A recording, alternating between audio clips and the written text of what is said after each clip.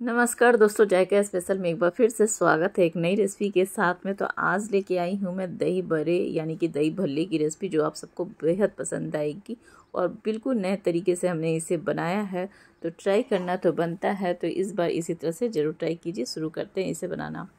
यहाँ पे एक कप हमने उड़द दाल का इस्तेमाल किया, जिसे दो से तीन घंटे के लिए मैंने फूलने के लिए भिगो के, यानी कि पानी में रख दिया था। फिर उसे छान लीजिए और छान कर मिक्सी जार में इसे हम डाल लेंगे। और बिना पानी का आपको इसका पेस्ट आपको तैयार करना है। हल्का सा दरदरा टेस्ट पेस्ट इसका मतलब तैयार कीजिएगा।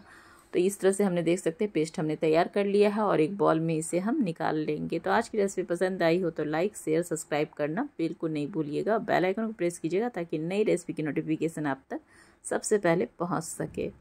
तो यहाँ पे हमने एक बॉल में सारे बैटर को निकाल लिया है। और फिर यहाँ पे मैं दिखाती हूँ तो हल्का सा दरदरा आपको दिख रहा होगा। इसी तरह से हमें बैटर तैयार करना है और एक ही डायरेक्शन में आपको इसे फेंटना है। तब तक फेंटना है जब तक ये फ्लफ़ी एकदम स्मूथ बैटर बन के, एकदम मक्खन के जैसा बिल्कुल तैयार ना हो जाए। तो ये बिल्कुल भी काफ़ी अच्छे से फेंट लिया हमने। पानी में इसे डाल के चेक कीजिए, अगर ये तैर रहा है तो परफेक्ट बैटर जो है ना, एकदम बैटर आपने तैयार कर लिया है। और यहाँ पे छोटे छोटे बॉल को इस तरह से हाथों से डाल लेंगे या फिर आप इसे स्पून की मदद से भी डाल सकते हो। तो मैं हाथों से ही डालूँगी और यहाँ पे नमक इसमें ऐड करेंगे और फिर अदरक ग्रेट किया हुआ हरी मिर्ची लेंगे और डालकर अच्छे से मिक्स कर दीजिए तो बैटर जो है हमारे दही भल्ले के बिल्कुल भी तैयार है।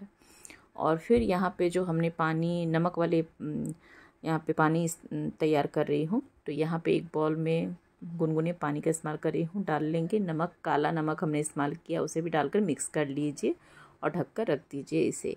फिर यहाँ पे जो हमने दही भले तैयार कर रही हूँ ना, उसके लिए मैं यहाँ पे चेक कर ली हूँ तो तेल को हल्का सा ही गर्म रखिएगा, बहुत ज़्यादा हीट में तेल को गर्म मत कीजिएगा और फिर इस तरह से दही भल्ले डाल लीजिए। अलट पलट करते हुए इसे फिर आपको फ्राई कर लेना है। तो स्पून की मदद से मैं इसे पहले पलटी हूँ ताकि आसानी हो जाता है और यहाँ पे देख सकते हैं कलर बिल्कुल चेंज हो गया है। तो ये काफ़ी अच्छे से फ्राई हो गया है। आप ये थोड़ा सा ज़्यादा लाल हो गया तो आप इसे थोड़ा सा कम भी लाल कर सकते हो। अब इसे हमने निकाल लिया है और फिर यहाँ पर दही भल्ले को हमने यहाँ पर पानी में डाल दिया है। और डालकर एक से दो मिनट के लिए पानी में ढक कर रख दीजिए।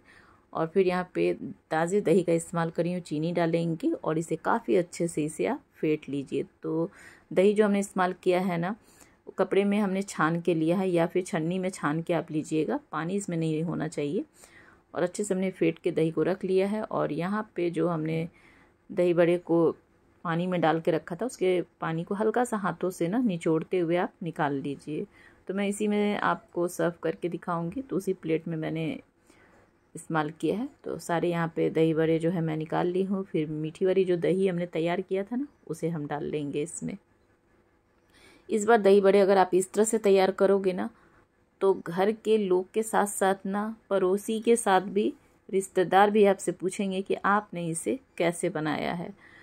तो सभी आपके एकदम तुरंत सवाल करने के लिए आ जाएँगे। तो इस बार दही बड़े जो है ना, बिल्कुल इसी तरह से ट्राई कीजिए। तो हमने दही, हरी चटनी और इमली की मीठी चटनी डाल लिया है, फिर इसमें भुने हुए जीरा का इस्तेमाल किया, जीरा पाउडर, फिर काला नमक डाला है हमने और फिर इसमें चाट मसाला ऐड करेंगे और अनार के दानों को डाल लेंगे। तो इस तरह से बहुत ही टेस्टी, मज़ेदार, एकदम सॉफ्ट एक दही बड़े बना के तैयार कर सकते हो। होली में या कभी भी इसे बना के आप ट्राई कर सकते हो। बहुत ही सॉफ्ट है, बहुत ही लुक भी दिखने में इसका काफ़ी लाजवाब है।